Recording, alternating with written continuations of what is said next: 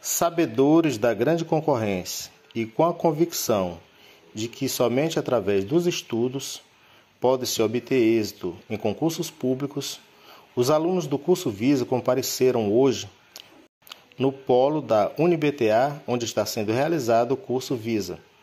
E nem a chuva conseguiu arrefecer os ânimos desses alunos que, dedicados, compareceram a essa primeira aula.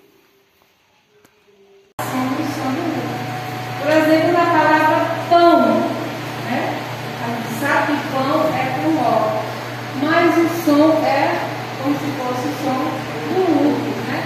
Mãe, a gente sabe que é com leite, mas o som Pessoal, estamos aqui com um dos estudantes dedicados que enfrentou a chuva para estar hoje aqui na primeira aula. Rodrigo, o que você achou da aula de hoje?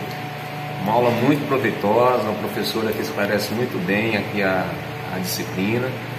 E eu gostei muito, né? Espero que na próxima aula não esteja chovendo. Mas se chover, eu venho assim mesmo.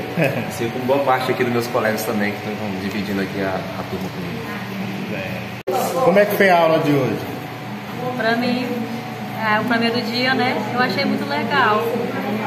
É, algumas coisas é, ainda não captei, mas com certeza eu vou aprender daqui pro final, com certeza. O que, que você aconselha para aqueles que estão lá fora, que não querem estudar, que estão meio desanimados?